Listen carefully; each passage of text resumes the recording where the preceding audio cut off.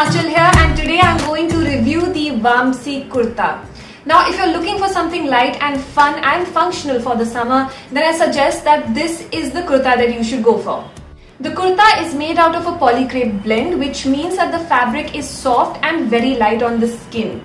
The shape of the kurta is A-line and the sleeves are about 3 4 and they're quite roomy. So they cover your arms from a tan but doesn't feel stuffy. I just love the color combination here. I think the yellow and blue go very well and the print is absolutely adorable. So you can just wear it everywhere. You can wear it at a festival, you can wear it out while shopping and if you wear it uh, at work, I'm sure it's just going to brighten up your day.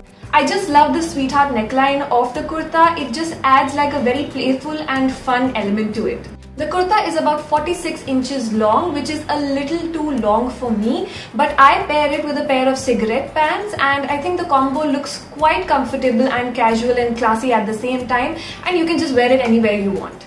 The best part about this kurta is that it's completely machine washable. So you just don't need to bother about washing it with hand, just throw it into the machine and you're done. The product is available in a large variety of sizes.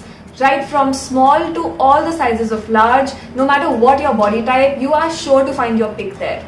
The product is available online and if you're looking for something cute and comfy, then I suggest that you definitely go for it. And I will see you in the next review. Bye!